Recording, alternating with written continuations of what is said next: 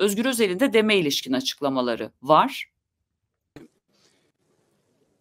Dem Parti kendi sürecini yürütüyor, toplanıyor. Bir karar verecek.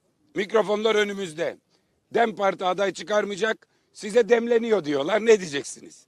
Mikrofonlar önümüzde. Demlen anlaştınız. İstanbul'da, büyük şehirlerde aday çıkarmıyor. Sizi destekliyor. Bunun Dem Parti ile anlaşmak olduğunu söylüyorlar. Ne diyeceksiniz? E şimdi bu mikrofonlar neden gitmiyor Bahçeli'nin önüne? Bahçeli bu sabah demli çay mı içiyormuş? Bu mikrofonlar neden gitmiyor Recep Tayyip Erdoğan'ın önüne? Terörle işbirliği mi yapmış?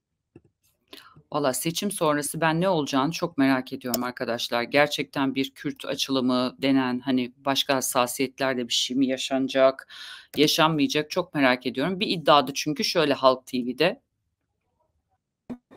Ee, AKP ile de CHP ile de görüşüyor. Peki bu görüşmeler nedir? Ee, iddiayı Ali Kenanoğlu görüyorsunuz HDP eski milletvekili. Verilmesi gereken cevap bu. Yani ben şuna inanıyorum ve biliyorum. Ee, AKP ile 30 Mart seçimlerine yönelik bir görüşme yok örneğin. Tam tersine 30 Mart seçimlerine yönelik görüşmeler CHP ile var. Ama Evet. zaten o mektupta sıkılı yumrukları açmak içindi. Şimdi orada- Sözünü ben oraya yordum. Bak AKP ile görüşme nedir? Bakın ben size şunu söyleyeyim.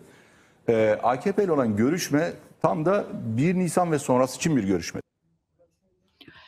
Böyle bir mesele var. Ee, şimdi demişsiniz ki bir dakika nerede o?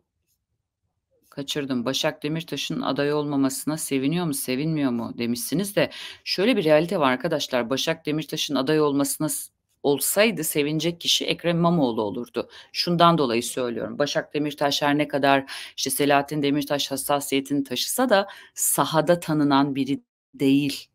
Yani siyasette sahada tecrübesi olmak ayrı bir şey. Yani masadan siyaset yapmak ayrı bir şey, sahadan olması ayrı bir şey. Her şey için geçerli aslında bu. Haberde de böyledir, siyasette daha da böyledir. Dolayısıyla şimdi Meral Danış Beştaş'ın İstanbul'dan aday olması hani eş başkan olarak bir de bir isim daha var ama Meral Danış Beştaş daha önce hani eş başkanlık yapmış, İstanbul'da bilinen grup başkan vekilliği yapan, sesi gür çıkan, e, bir şekilde saha tecrübesi olan bir isim.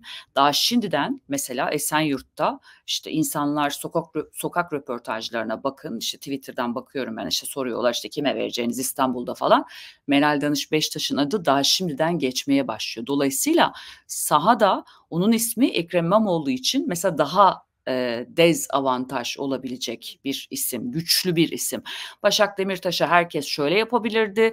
Ya hani ne kadar çok üzülüyoruz bak işte eşi sonuçta hani işte hapiste bak kadın işte neler yapıyor falan iyi bir hikaye ama günün sonunda seçmenle bağ kurabilecek, seçmenin seçileceğine inandığı bir hikaye olmadığı için sahadan oy alabilecek bir hikaye değildi. Zannediyorum Dem e, bunu çok iyi okudu ve zaten ben bana sorarsanız Başak Demirtaş'ı hiçbir zaman dem düşünmüyordu. Yani orada Selahattin Demirtaş bir şey denedi diye düşünüyorum ben içeride İrfan Aktan üzerinden. E, Başak Demirtaş'a da bırakmadılar o alanı kavgada etmeden yani şeyin önünde insanların önünde e, bir şekilde o süreci kendi içlerinde yani böyle bastırarak